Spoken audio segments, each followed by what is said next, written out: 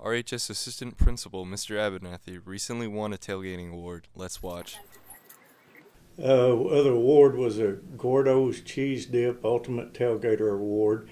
Um, that uh, it came about. We were uh, my family and I always tailgate usually at Road Hog Park for the Razorback games, and uh, a crew just come walking by with cameras, and they were passing out Gordo's cheese dip and T-shirts and uh, the like, and just said, "Hey, y'all look like y'all got a pretty nice setup. Would you talk to us?" And uh, so they interviewed me, and uh, I was one of the finalists, uh, or one of the ones they picked for weekly competitions, uh, in which there was three each week. Uh, they went all over the Southwest Con- or Southeast Conference and ACC and some different areas, and uh, so uh, I won the weekly competition, which put me in the finals.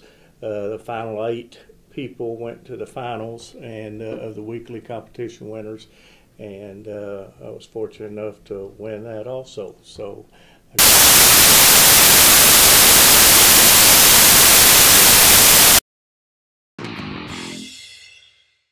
This is RHS TV signing off.